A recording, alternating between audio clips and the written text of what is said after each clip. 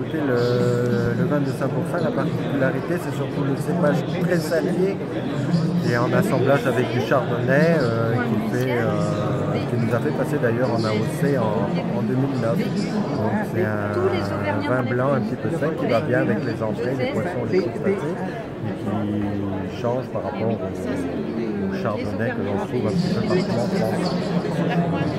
Voilà. Ici, on a sur les vins rouges, on a quand même des, spécificités telles que des vins qui sont euh, plutôt épicés, poivrés, euh, certaines cuvées et d'autres sur euh, des fruits rouges, goût de cassis. C'est toutes les sélections qu'on a qui font qu'on a des vins un petit peu différents de ceux que l'on produisait auparavant, notamment les vins à base de gamay.